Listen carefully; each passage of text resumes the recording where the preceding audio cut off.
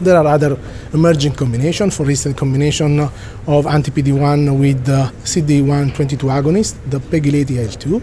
Here at ASCO we'll have an update about this combination and uh, also the possibility to combine uh, uh, anti-PD-1 with an emerging pathway, the adenosine pathway, and specifically anti-CD73, which is uh, an enzyme uh, important in adenosine pathway because adenosine is uh, uh, related uh, when is in high concentration tumor microenvironment with a worse uh, outcome of patients uh, treated with anti-PD-1. So to combine anti-PD-1 with uh, molecules that can reduce adenosine seems to be another interesting strategy.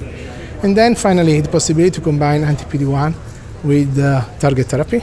You know that this possibility could be important because we can combine the fast action of target therapy with possibility to reach long-term benefit of immunotherapy.